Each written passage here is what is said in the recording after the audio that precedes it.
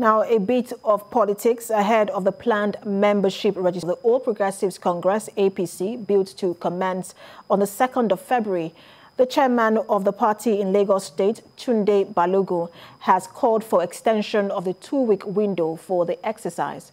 In this report, TVC News senior political correspondent Ayodele Zubakun gives an update on the proposed membership registration. State chairman. Ahead of the 2023 presidential election, the political scheming within the ruling All Progressive Congress APC is thickening by the day. You will see the action. In 2014, the party conducted a membership registration with more than 18 million members registered across the country. Names and photographs of party members were captured in that exercise.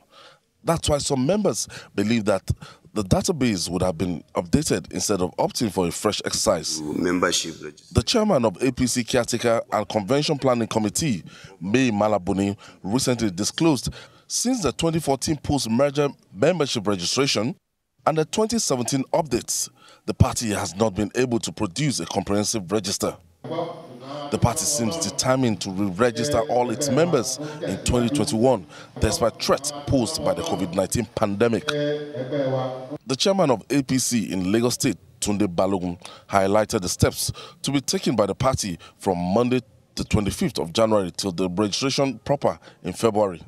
In Lagos, what we will have, and in other states of the Federation, what we will have will be the formation of uh, committees to supervise. We are going to have state, local government, ward, and polling unit supervisory committees.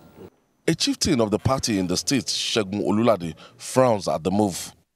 I think we have a, a, database that is comprehensive enough prior to now. We did one in 2014.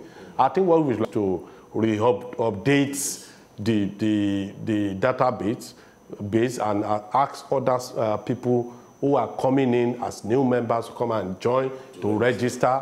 And I, th I think that could have been the best thing that we could have done. At the local government level, party chairmen are busy mobilizing members to ensure a massive turnout. Sorts again.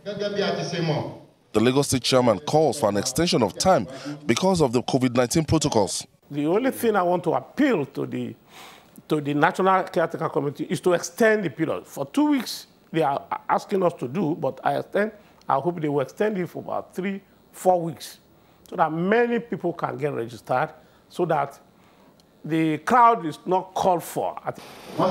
The registration is scheduled to end with display of names of registered members at party offices in all wards and local government areas from the 27th of February to the 1st of March 2021. Ayodele Zubakun, TVC News, Lagos.